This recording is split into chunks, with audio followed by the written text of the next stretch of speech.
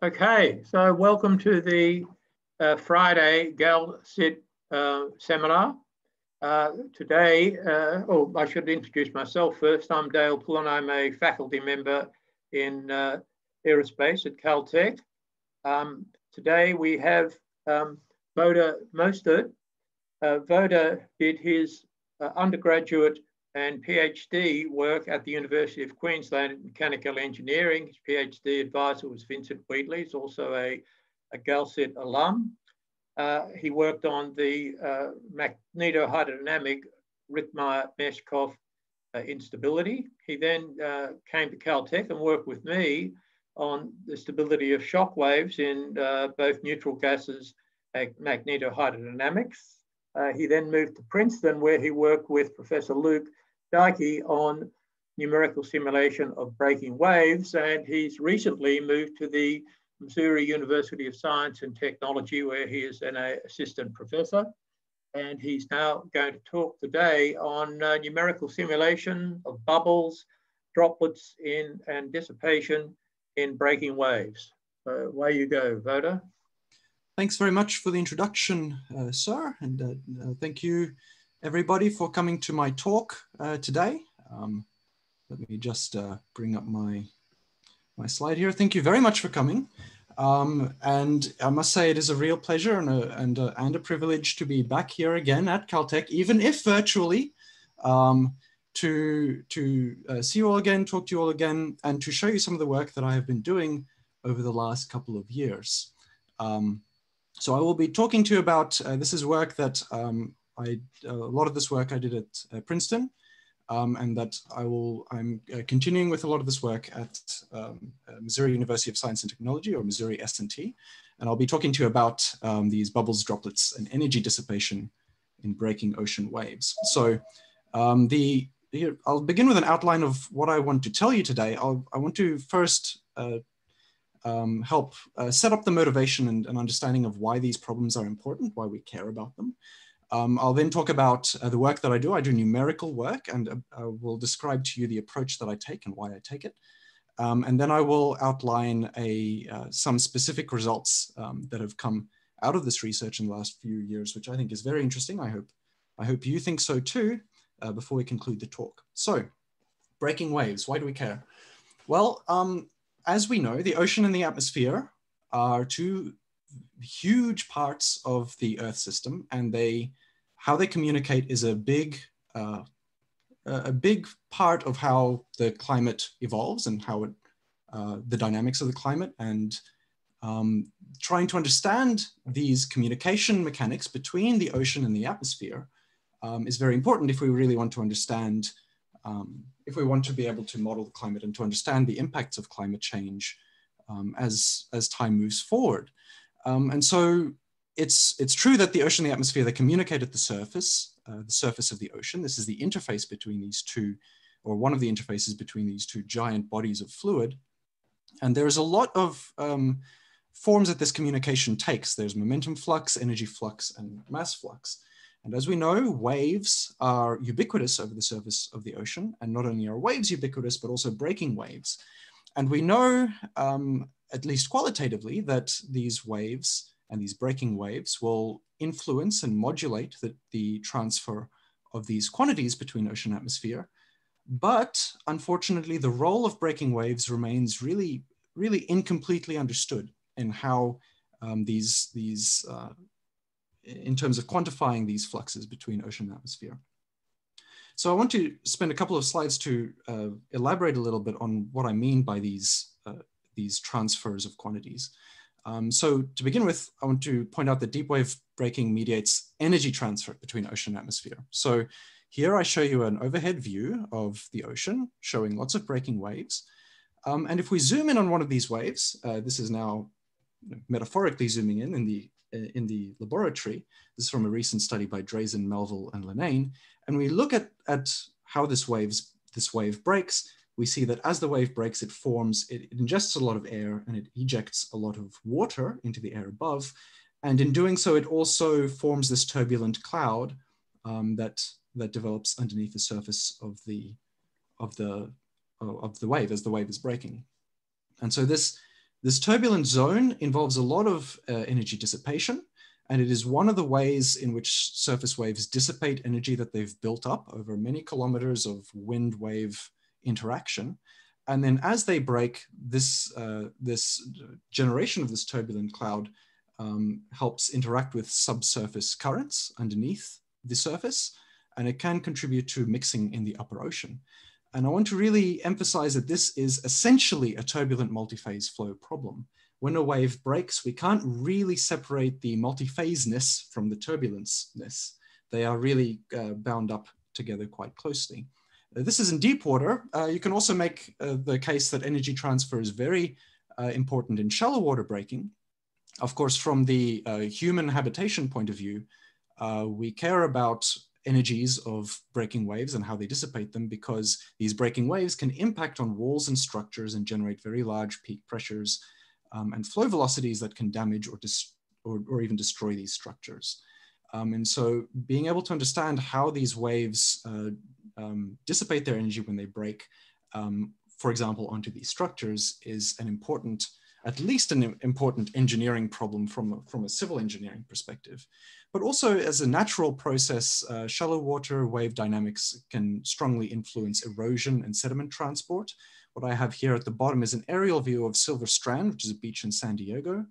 Um, and the, the, colored, the colored contour shows the change in elevation, which was attained on this beach before and after the 2015-2016 El Nino event. As you can see, um, the action of the, of, of the coastal, the coastal wave systems on this beach over that time had induced a three, up to a three meter drop in, in, in the elevation of this beach and clearly through erosion and sediment transport processes. So understanding shallow water uh, energetic, uh, energetics of waves um, is part of the problem of understanding how uh, sediment transport and uh, erosion processes can occur. So much for energy. What about mass transfer? I did mention this. Um, if we go back to this experimental uh, image of this wave breaking, really the most obvious thing that we see, um, apart from the spray being generated, is that there is a lot of bubbles that is ingested underneath the wave.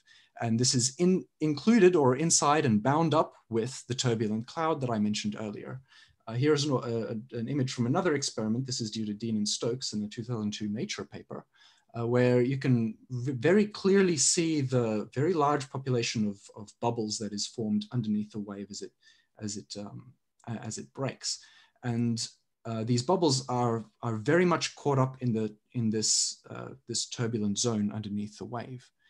Um, this is very important for us because, of course, as air gets entrained into the water by breaking waves, uh, this is one of the me uh, mechanisms by which uh, atmospheric CO2, which, has, which had been anthropogenically emitted, um, can be taken up by the ocean. Up to 40% of the uptake by the ocean is done through bubble entrainment uh, due to a re recent study by Reichl and Deike 2020.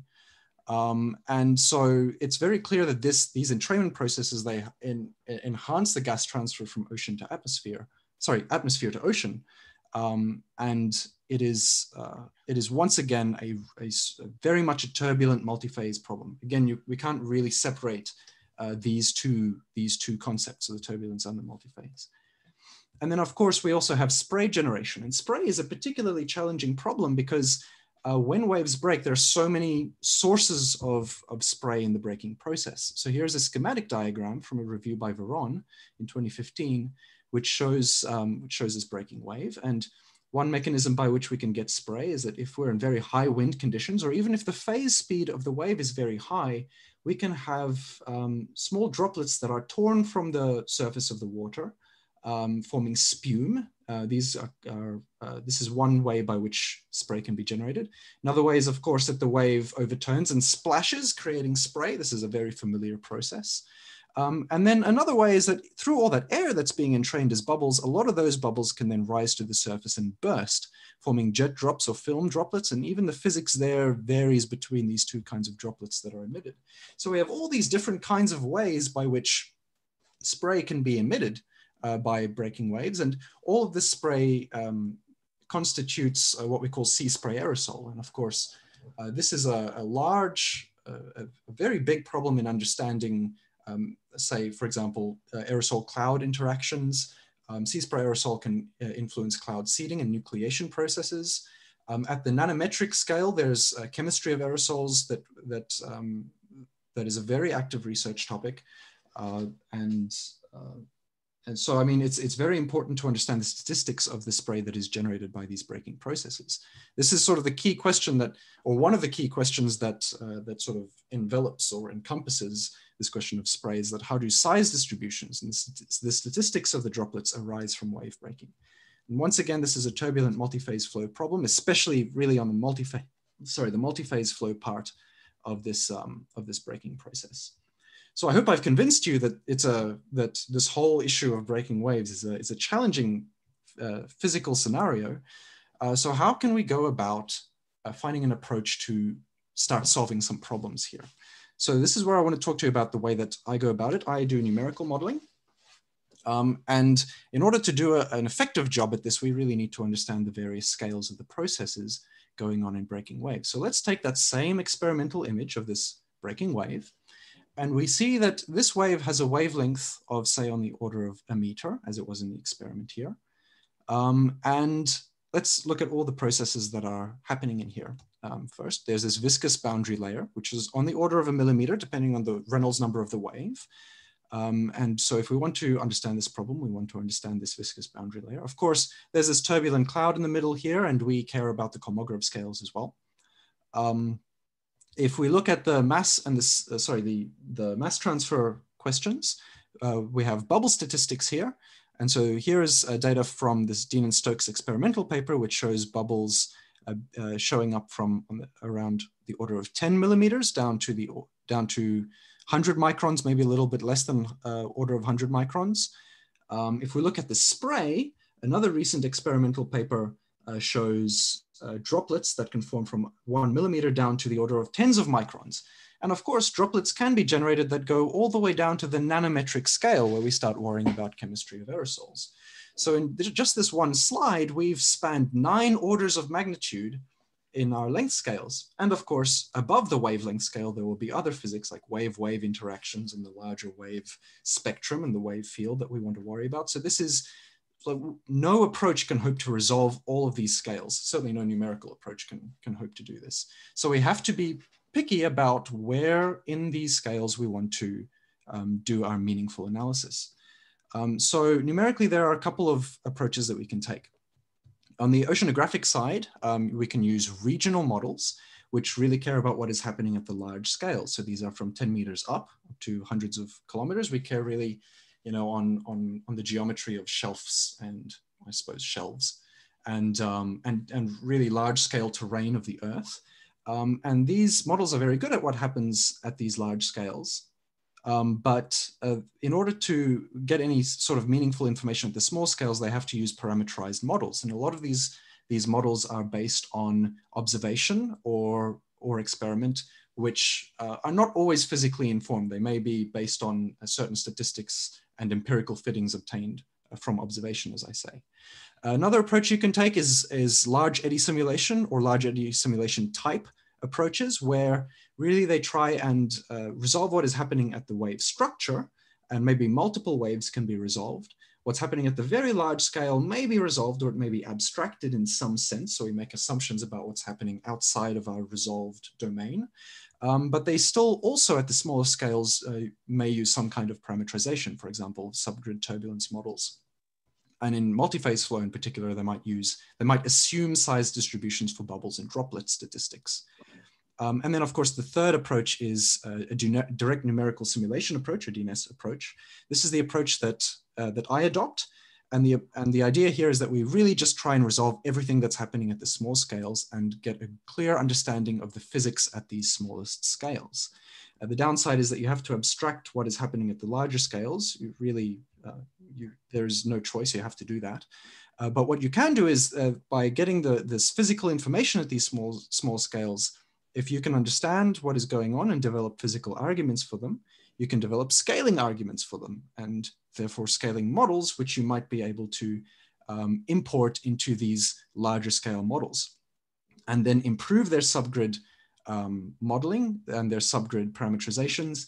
And uh, that is really what I want to do. I want to make uh, these guys life easier by giving them better parameterizations at the small scales. Um, so, so if I'm uh, using this approach, how do I do it? What tool do I use? Uh, so right now I am using a tool called Basilisk. This is actually a library of, um, of different codes, well, of, of different solver types. I'm solving the two-phase Navier-Stokes equations with surface tension. And really the, I would say the key feature of this code is its uh, use of adaptive mesh refinement. So what I have here on the right is a video of a breaking wave. This is a cross section through the wave where I'm col coloring, the contour map is, is colored by local resolution. So warm colors are high resolution, cool colors are low resolution. And the idea is that where the flow is mostly quiescent, we don't really waste computational resources, but where there's a lot of action, that's where we deliver the resolution. And so this, what this helps us to do is it, it, it allows us to get very large effective resolutions, very large resolutions, uh, equivalent conventional resolutions, but at much reduced costs. Um, this allows us to handle the multi-scale nature of this problem a little bit more easily um, and get, uh, in, in, in, some cases here that I present today, up to effective resolutions of uh, 2000 cubed cells in, in, a domain for a conventional grid. Uh, by comparison, the, the grid sizes that I attain reach maybe 350 million cells. So that is a, quite a large reduction in, in, in grid size at, at least um, in, in looking at these problems. And I'll show you what we can what we can do with this kind of code. Here is a rendering of a three-dimensional breaking wave, starting off as a planar wave. Um, and I want to, you can see it turn, overturning and splashing, creating all these droplets in the air and all these bubbles in the water below. And I am just going to emphasize that all of these droplets and bubbles are resolved directly by the code. We make no assumptions about the statistics of these bubbles and droplets. In fact, the whole idea is that we generate statistics uh, from data sets like this that will help us understand the physics um, under, uh, you know, underlying a lot of the, uh, these mass transfer and, and energy transfer processes. So I want to now move on to some key results and um, to, to show you some of the things that, um, that can be achieved with this approach. Um, but to start with, before we get into the, the heavy duty three-dimensional waves, let's start with a simple system, a model, well, it's not necessarily simple, but it is a model system that helps us uh, then understand what, what, what goes on as we move on to the more uh, in uh, sort of complicated and involved uh, three-dimensional calculations. So let's think about a breaking wave. This is uh, this argument is from that I'm about to present is from a study in 2009, experimental study. Um, let's look at this breaking wave. And this wave um, steepens and then eventually it overturns and it forms a jet, which which uh, overturns and plunges, uh, uh, forming a cavity here. And as it plunges, it attains a velocity w, and it plunges over a height h. And then uh, as it breaks, it forms this turbulent cloud in the water with a length scale L um, and across uh, an effective cross-sectional area A. We want to discuss the energy dissipation rate inside this cloud. So let's just say that the dissipation rate in the cloud is given by this classic scaling uh, where chi is a proportionality constant, w is a characteristic velocity, and l is a characteristic length. These are the, uh, the scales, these are the quantities at the integral length scales.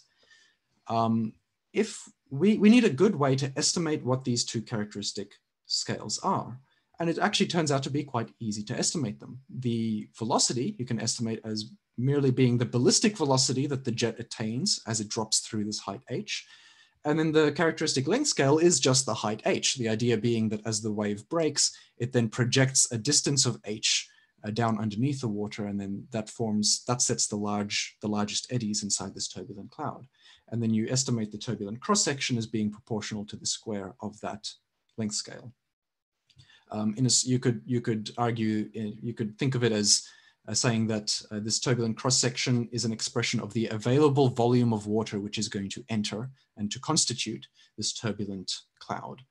Um, and then so using this, we can estimate a dissipation rate in the wave per unit length. Um, so per unit length of the breaking of the crest of the wave as it breaks, uh, where rho is the density, A is the cross-sectional area, and epsilon is the dissipation rate that we just estimated before. And doing this, it is possible to understand the dissipation at, this, uh, at the subwave scale. And in fact, this result uh, was then subsequently used uh, in incorporating into uh, regional wave models uh, in two papers that I cite here. I wanted to develop a similar model, but for shallow water breakers. So let's set up a shallow water breaking wave system.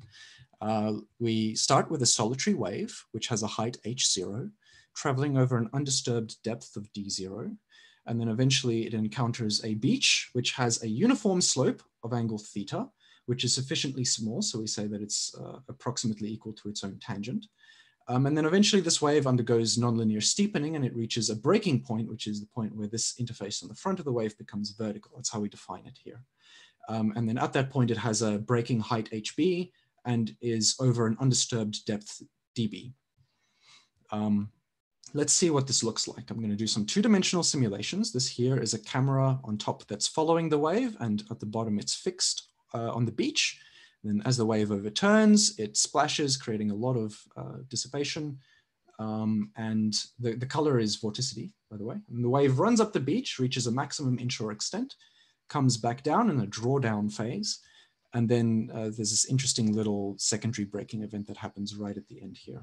I'll play you that, that first video again, especially from the wave perspective. The wave approaches the beach. Here's the beach coming up from the bottom. The wave steepens. It eventually overturns and breaks, splashes, and runs up the beach. We can separate or divide this process into four phases. First phase is this uh, approach phase where the interface is single valued and exhibits nonlinear wave steepening. Eventually it steepens to the point where it overturns, and the interface becomes multi-valued, and we form a breaker, plunging or spilling. I'll talk more about this in a moment.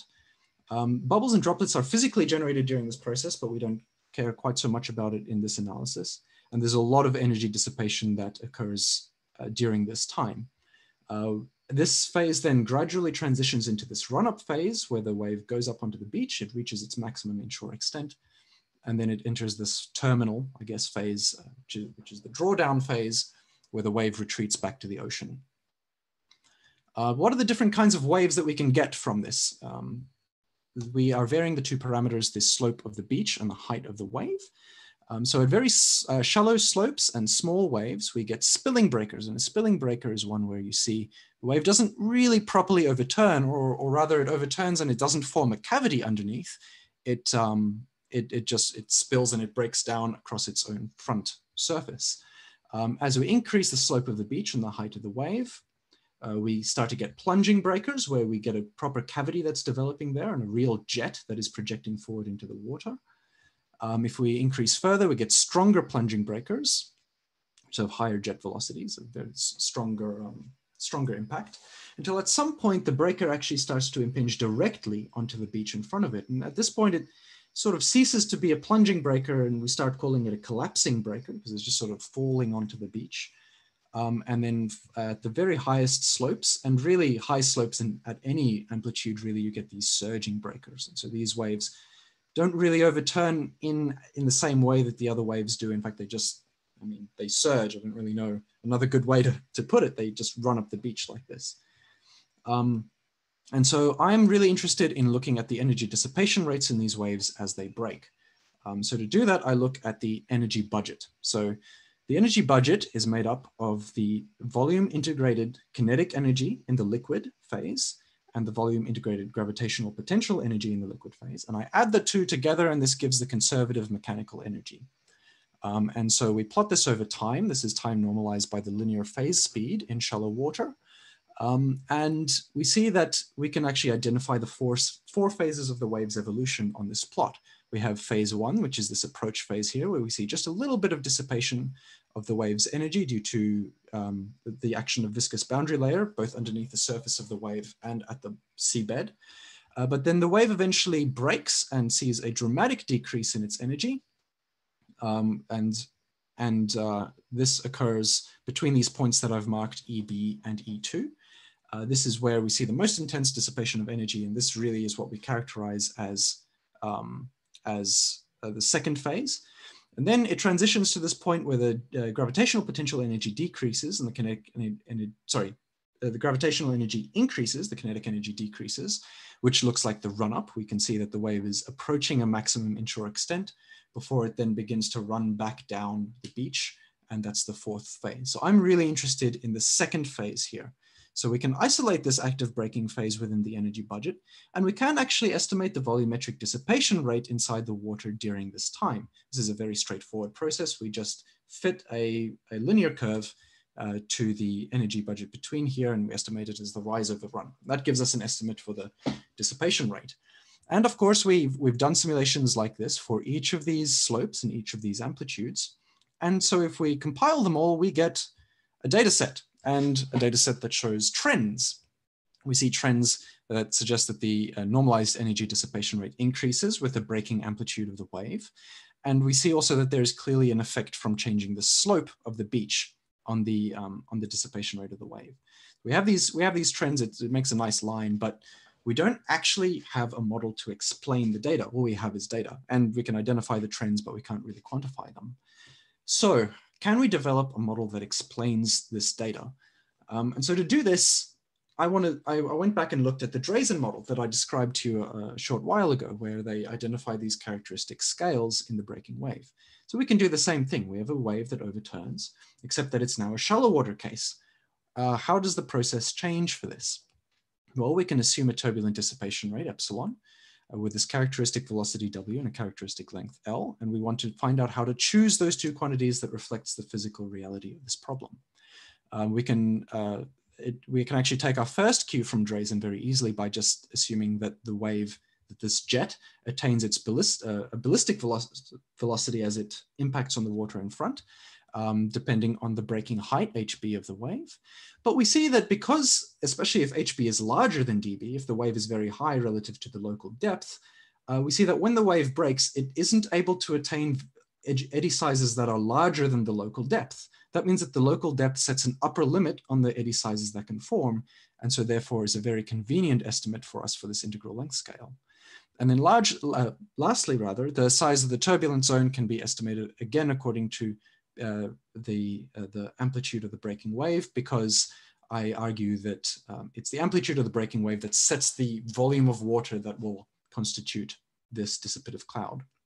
Once we put all of these estimates into our uh, definition of um, the dissipation rate per unit length of breaking crest, we get a scaling that scales as the breaking height of the wave to the 712 divided by the local depth of the, uh, of the water at breaking. And so if we uh, use this to try and scale our data, we do actually see a very nice collapse of all of our numerical data. Um, what I'm doing here is plotting uh, epsilon L times local depth um, as a function of a power law of HB. Um, and I get a dashed line with an exponent of 3.2 here, which is not too far from the 3.5, which is um, expected from the theory. And so this is a, a model that actually very nicely explains um, the, the numerical data that we've gathered here and, um, and forms a simple model for us. And so this is exactly the kind of uh, model that I want to then take and then supply to, to larger scale models. That's that's great. I felt very good about this, but there's actually a question that you may have thought of uh, by now is that all of these simulations I just performed were two-dimensional simulations. But then I made a lot of arguments that were based on the turbulence that develops underneath the surface. Um, and then I tested this against two-dimensional data. But we know that uh, turbulence is an essentially three-dimensional process, and that when waves break, of course, waves break in a very three-dimensional manner. Um, so how can we how do I, how can we account for this? How can we investigate this a little bit, a little bit more? And so to answer this question a little, little bit, um, uh, to look at this question in a little more detail, I decided, well, why not just do a direct comparison between 3D waves and 2D waves? And to, so to do this, I apologize for the, for the, um, the choppiness of these videos. My laptop is uh, just barely able to manage them, but you can see that this is a visualization of a breaking wave viewed from the top on the left, from the bottom on the right um, the uh, you can see especially that there's a wealth of bubbles that is generated by the breaking wave on the right and a lot of droplets generated on the left. And of course, we know it's not so clear in these videos, but we know that there's a lot of energy that is dissipated during this process. And what I want to do is a direct comparison between the 3D and, and the equivalent 2D problem. I want to emphasize that these 3D waves start off as 2D waves, but then they overturn and break, and then they rapidly become three-dimensional. Um, and so we can then do a direct comparison of the evolution of the dissipation rates between the three-dimensional and the two-dimensional cases. So if we just do a, uh, oh, but before I continue further, I just want to, I'm going to be talking about a couple of non-dimensional numbers here, and I just want to make sure we're on the same page. Um, I will be talking about the bond number of these waves. This is a measure of the relative effects of the buoyant and the surface tension effects. Um, and typically larger bond numbers correspond to longer wavelength waves. Um, and the other, the other number that I'm going to talk about is of course the Reynolds number. This is the wave Reynolds number where the length scales are on the, on the wave, on the wave scale. Um, and I'll be discussing Reynolds number 400, 40,000, 100,000, also actually be showing some 10,000 Reynolds number cases as well. I will also be making some reference to the numerical resolution that I'm using according to the effective grid, res grid resolution as a power of two. Um, and all these variables here are outlined at the bottom here. Um, so let's do a direct comparison for a bond, bond number of 500. This is a wavelength of about 40 centimeters in for air and water um, at a quite a low Reynolds number. This is a very viscous wave. Let's do a comparison directly of this energy budget. Uh, remember, this is the same energy budget that I was, the same kind of energy budget that I was just talking about with shallow water breakers, and compare the evolution of the 2D and the 3D. So we see at early times, both waves steepen, and then there comes a point where they both break. And then we notice that for much of the evolution time, the 2D and the 3D budgets look very similar to each other and they diverge a little bit later on, but even aside from that divergence, they behave quite similarly. And if we fit a curve to this, it would have a very similar slope between the two cases. Um, the, by the way, the time normalization here is on the period of the wave.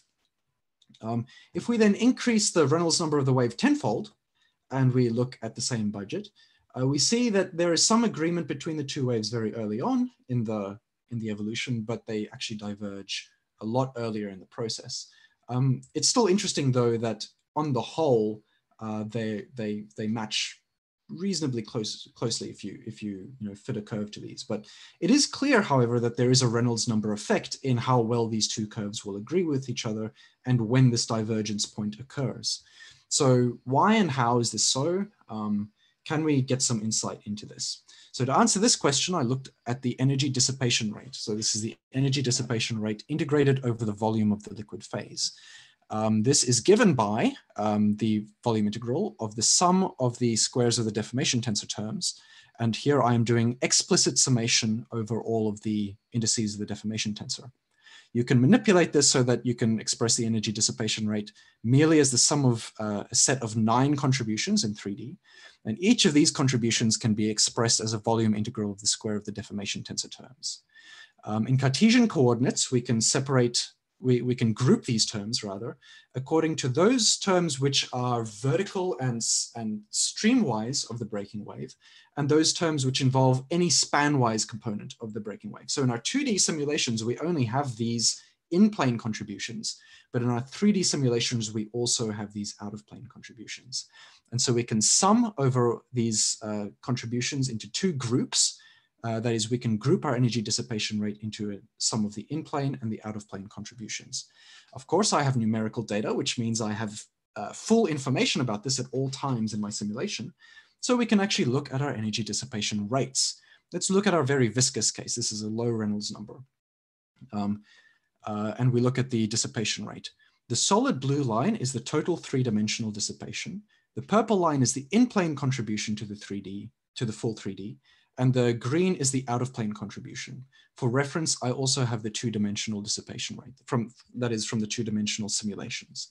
And as we can see that for this low Reynolds number case, we see very, very good agreement between our 3D and our 2D dissipation rates for, for most of the duration of the breaking process. There is a, a clear difference um, at, at, at 1.5 wave periods here. Um, but the other really interesting feature here is that the out of plane contribution to the dissipation rate is very small for a very large chunk of this, um, of this active breaking period. And that the in plane contribution really dominates uh, the 3D dissipation rate um, at these early times. Um, if we then increase the, the Reynolds number by a lot, tenfold increase, uh, we see that this phenomenon actually no, is clearly no longer true at this very high Reynolds number. And we see uh, that the out of plane contribution grows pretty much immediately um, and that immediately we see this divergence of the three-dimensional dissipation rate from the two-dimensional dissipation rate. I'll also point out that interestingly, the in-plane and out-of-plane contributions match uh, very, very well numerically, especially later on in the, sim the simulation. Um, so there's clearly a process here which is um, uh, which is Reynolds number dependent, and higher Reynolds numbers promote a faster out of plane contribution growth um, in our three dimensional uh, simulations. Uh, we can try and take a whole lot of these simulations at various Reynolds numbers and quantify the, the time that it takes for the out of plane contribution to grow relative to the in plane contribution. So heuristically, if we define an, uh, the time at which uh, the out of plane contribution is 50% of the in plane contribution, and we call that transition time T3D, uh, we can plot over time um, the out of plane contribution normalized by the total and the in plane contribution normalized by the total and see how they evolve. And here I've just shifted the time axis here to be zero at the time of impact. And so you can see here that for this low Reynolds number case, we've got a large time for tr transition time. And as Reynolds number increases, this transition time decreases, as you would expect. Um, it, we can repeat this, uh, this analysis for a whole number of cases. Um, and it turns out that there's, a, there's quite a lot going on in this figure on the right here. But as it turns out, um, when we get this transition time and we plot it over our wave Reynolds numbers, we see what looks like an asymptote. It looks like this transition time asymptotes off to a finite value. And if we use information about this breaking process to estimate a turbulence Reynolds number, RE lambda, it seems that there is, uh, it is there's a suggestion that this uh, transition to, or like the asymptote rather, is reached at a value of RE lambda approximately equal to 100. And um, this would then correspond very strongly with the rest of the literature in turbulence, uh, where there is this, uh, this mixing, this canonical mixing transition, which is identified at an RE lambda value of 100. So uh, that's, a, that's a very interesting suggestive result, and there's certainly um, a, a, lot, a lot of uh, work to be done in understanding further the detailed evolution of this flow. So um, that's uh, that's very interesting, and so this helps us really understand um, better this uh, uh, you know this difference on on the one hand between 2D and 3D waves, and then also these Reynolds number effects um, in in breaking waves and and their evolution and the evolution of the dissipation rates. Um, qualitatively, we can identify the uh, or or at least it seems that we can identify um, this transition to three-dimensional behavior by trying to visualize the vortical structures underneath the wave. So what I'm doing here is I'm using the lambda 2 criterion and plotting isosurfaces of it um, underneath the wave and seeing how they evolve over time. And then at early times, we see that the isosurfaces, especially here in the bulk, they, they look quite planar, but then as the wave evolves, we see that there are these long filamentary structures that form with well-defined transverse wave numbers. And then at late times, they sort of devolve into this isotropic mess, for want of a better word. But we do see um, this sort of this apparent transitional structure here. So this is suggestive of a, of a transverse instability, uh, which is taking place underneath the wave, probably uh, Reynolds number mediated, possibly slightly bond number mediated as well, but this warrants further investigation as well. So that's, um, so that's, that's uh, this transition behavior. So much for energy dissipation, but what about, what about the bubbles in the spray? I mean, these simulations generate a, a lot of statistics for droplets and for bubbles in the flow. And we're very interested in understanding these statistics a little bit better. So there are some key questions that we are asking here. Uh, when and how is the spray and the, and the, and the bubbles generated in this process? Uh, numerically, what are the smallest sizes that we can hope to resolve? Uh, this is really a technical question. Um, and then also, well, we want to compare well with experiment. And uh, we also want to try and understand the relationship between the bubble statistics that, uh, that we see and the evolution of the energy and the, and the dissipation rate that I've just been talking about. So the easiest way to do this, uh, the, the first place to start really with bubble statistics, is we have a ton of bubbles, let's plot them. Let's plot a contour of the, of the number of bubbles that we see. So what I have here is time on the horizontal axis, normalized by the wave period. And on the vertical axis, I have bubble size. I am normalizing here by the Hinze scale. The Hinze scale is the length scale for a bubble that is embedded in turbulent flow, where the surface tension forces on the bubble resist the action of turbulent shear in the ambient flow. Um, and uh, so we expect that there, that there will be a qualitative change in behavior for bubbles below this size versus bubbles above this size. So that's why I normalize with a Hinze scale there. Um, and if we plot this over time, we see that very small bubbles are generated immediately on impact.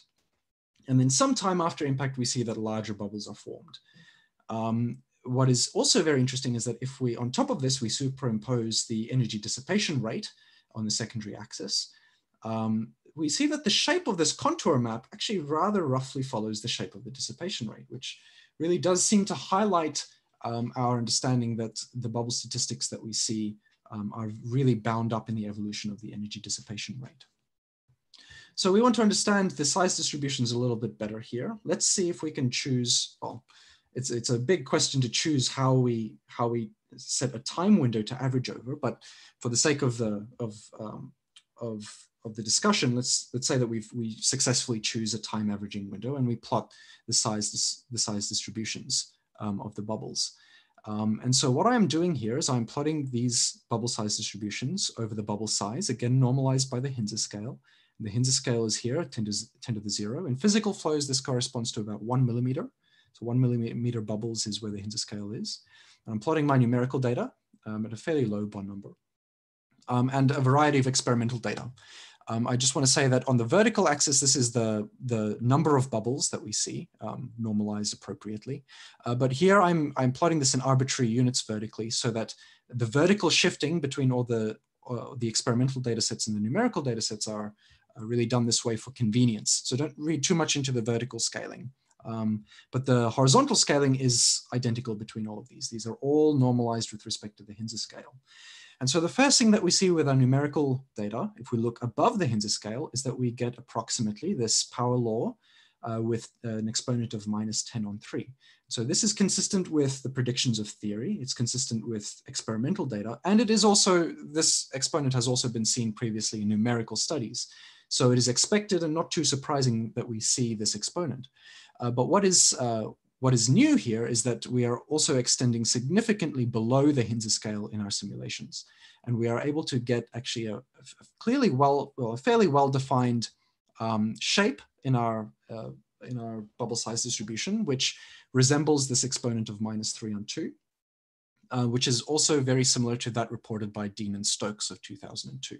There is of course some variation between the experimental data, but excuse me, um, it, I'm very happy to say that our numerical data uh, matches quite well, um, certainly with Deane and Stokes and fairly well with the other experimental data that we see here. So that's very interesting. Um, there are physical arguments for seeing this minus 10 on 3 form based on a turbulent cascade um, uh, sort of argument that you apply to bubbles. Uh, but such arguments don't really exist underneath the Hinze scale, and it's a little bit mysterious what's happening down there. Um, and we don't really have a clear answer for why this shape exists, but there might be some ways to, to help address it. So um, one thing that I did in parallel to these breaking wave simulations is that I also took a box of homogeneous isotropic turbulence and I injected a bubble of a particular size. And this bubble is characterized by the Weber number. And so the Weber number expresses the ratio of turbulent uh, forces to surface tension forces on the, on the bubble. So large Weber numbers correspond with bigger bubbles, which are deformed more easily and break up more easily. Um, so I did a number of these different simulations. And so all these different Weber numbers gave us different statistics um, for, and I'll point out, these are all sub-Hinze scale statistics on these bubble populations that we see. And we see in, in particular that the shape of these statistics, it seems to increase with the increasing size of the bubble, that is with the increasing Weber number of the bubble. And if we then superimpose on the same plot, the breaking wave data that I just have, there is certainly some, uh, some resemblance between the different simulations that we've performed. And this suggests that perhaps it is possible to synthesize the breaking wave distributions from some convolution or combination of these individual, uh, these statistics generated by individual bubble breakups, which is very encouraging. And this is uh, uh, an area of, of um, uh, intense interest um, that, that, uh, that I want to uh, look into moving forward, and is, is particularly in this research group.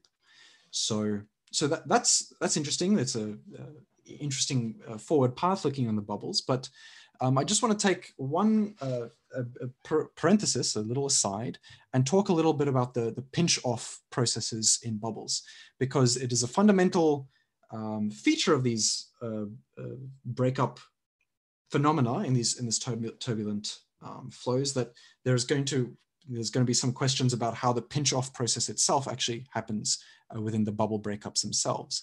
So in theory, there is a very well-known result that when a bubble pinches off in a quiescent medium, we see this wonderful power law, um, this self-similar behavior with this really well-defined exponent here, and this can be reproduced very easily experimentally and numerically. What I'm doing here, by the way, is showing experimental visualizations due to Daniel Ruth, a graduate student at Princeton University. Um, and we worked together on a study led by him um, looking at this turbulent bubble pinch-off process. So for reference, this is the quiescent pinch-off process. The question is, how does a turbulent medium affect the pinch-off process of this bubble?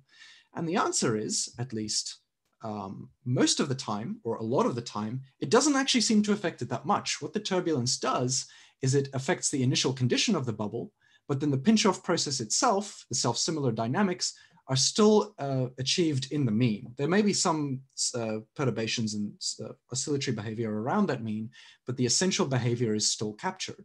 And so the argument for this is quite straightforward. It's just that uh, because this is a self-similar process in time, as we approach pinch-off, uh, the timescales of the pinch-off dynamics become much smaller than the timescales of the turbulent motion evolution. So the turbulent flow field becomes frozen into the background and the dynamics of the self-similar uh, uh, pinch-off process continue on their own, as if the flow was otherwise quiescent. Unless, it turns out, unless the turbulence perturbs the initial condition so much that the self-similar behavior is escaped altogether. And so this is what's happening here in this video. We see this kink that's forming in this neck. Um, and so this actually affects the pinch-off behavior of the neck and the self-similarity and the power law behavior is escaped altogether. Um, so it is possible, it turns out, to have a sufficiently asymmetric bubble that will escape this classical result. Um, all you need to do is get there. And so uh, the or, or, get to that odd initial condition and turbulence is a good way to do this. But turbulence itself does not cause this kink. And one way that uh, we could show this was by running I ran a number of numerical simulations which compared an, an, an axisymmetric bubble with an asymmetric bubble. Here we are zooming in on the neck region, an axisymmetric bubble on the left, asymmetric on the right.